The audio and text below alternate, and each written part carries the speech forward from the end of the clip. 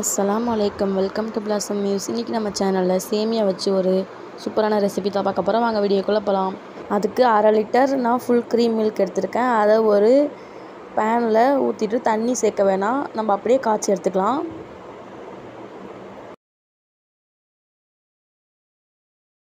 இப்போ பால் நம்மளுக்கு நல்லா பொங்கி காய்ச்சி வந்துடுச்சு.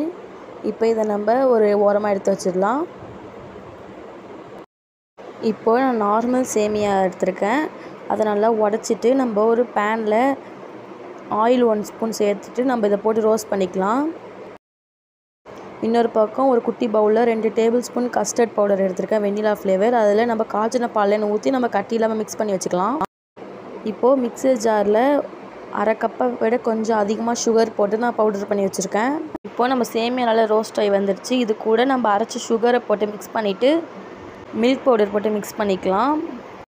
இப்போ சேமியாவை நம்ம எடுத்துகிட்டு அதே ஸ்டவ்வில் நம்ம காய்ச்சின பாலை வச்சுட்டு அது கூட நம்ம கரைச்சி வச்சுருந்த கஸ்டர்ட் மிக்சரை ஊற்றிட்டு அரைச்ச சுகர்லேன்னு தேவையான அளவுக்கு போட்டுட்டு மில்க் பவுடர் கொஞ்சம் டேஸ்ட்டுக்காக ஆட் பண்ணிவிட்டு நம்ம நல்லா மிக்ஸ் பண்ணிக்கலாம். இப்போ நம்மளுக்கு ரெடி ஆகிடுச்சு இப்போ நம்ம எந்த பவுலில் செட் பண்ண போகிறோமோ அதில் அடியில் ஏறாக சேமியாவை போட்டு நம்ம ஒரு டம்ளர் வச்சு ப்ரெஸ் பண்ணி எடுத்துக்கலாம்.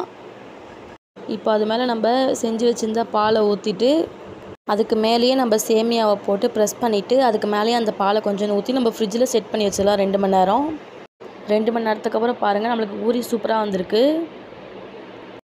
நம்ம ரெடி பண்ணி வச்ச கஸ்டர்ட் பால்லேருந்து நம்ம எக்ஸ்ட்ரா தான் செஞ்சு வச்சுருக்கோம். அதையும் நம்ம ஃப்ரிட்ஜில் வச்சுட்டு இது சாப்பிடும் போது அது கூட ஊற்றி நம்ம சாப்பிட்டோன்னா சூப்பராக இருக்கும் சாப்பிட்றதுக்கு. அப்பப்போ சாப்பிடும் போது ஊற்றி சாப்பிட்டோன்னா ஊறி போய் சூப்பராக இருக்கும். நம்ம எக்ஸ்ட்ரா தான் பால் செஞ்சு வச்சுருக்கோம். பாருங்கள் நம்ம ஒரு ஒரு பைட்க்கும் இந்த மாதிரி ஊற்றி சாப்பிட்டோன்னா சூப்பராக இருக்கும் வேறு லெவலில் சேமியாவோடு இதை சாப்பிடும் போது இதை செஞ்சு பாருங்கள் உங்கள் வீட்டில் தேங்க்ஸ் ஃபார் வாட்சிங்